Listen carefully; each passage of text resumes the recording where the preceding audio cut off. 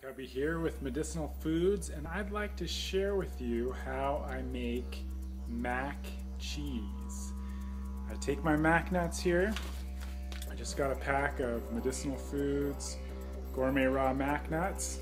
Just rip off the top, throw them in the Vitamix, chop open a cocoa, just fill the water a little bit above the mac nuts blend and you end up with this beautiful, creamy, yummy creation with coconut water, mac nuts, spiralize some uh, zucchinis, and you end up with this amazing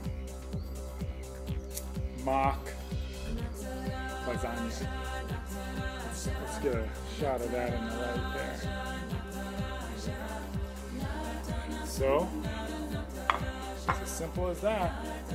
And what we'll do is let this sit out overnight with um, cheesecloth covering it and it's going to ferment in one night and turn into the most delicious probiotic mac cheese for you.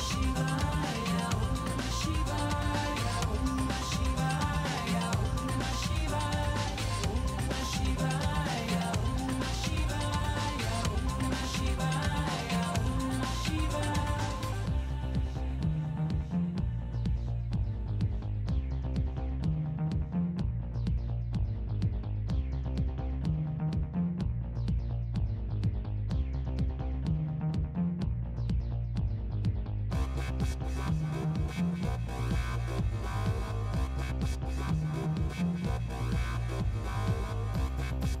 you.